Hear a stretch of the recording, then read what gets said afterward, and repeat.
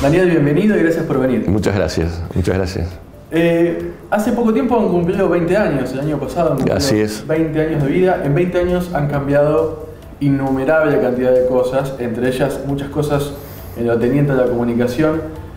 Pero ha cambiado la comunicación en sí para vos cuando arrancaste y ahora? Digo, ¿el concepto de comunicación es diferente? Sí, sin duda. ¿Sí? Sí, sin duda.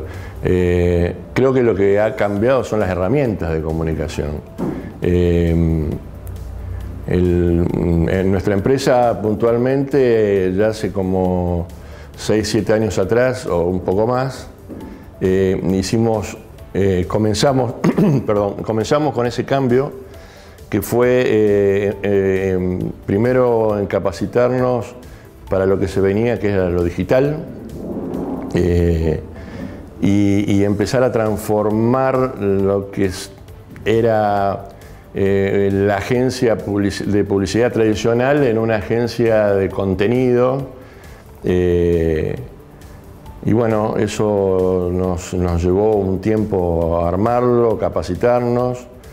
Eh, otra de las cosas que incorporamos en nuestra agencia eh, fue el tomar la decisión de, lograr la ISO 9000, que eh, nos ayudó a, mejorar todos los, sistemas para poder armar una comunicación seria, que el cliente se sienta satisfecho, que se cumplan los objetivos. Eh, somos la única agencia en, el interior del país que tiene el ISO 9000.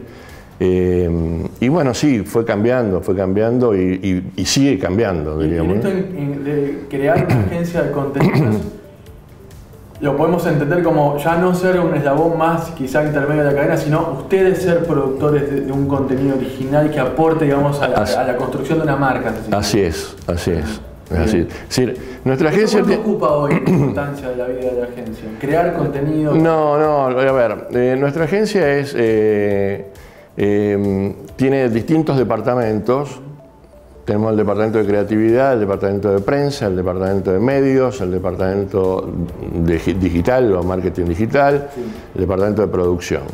Eh, cada uno hace un aporte, diríamos, eh, todos trabajan en conjunto y cada uno genera el negocio que, va que, puede dentro del paquete que, termina sumando eh, la facturación global, diríamos. Yo no te diría que lo digital eh, ocupa un porcentaje X porque va variando eh, los clientes, los pedidos, pero eh, te diría que es una parte importante de la facturación.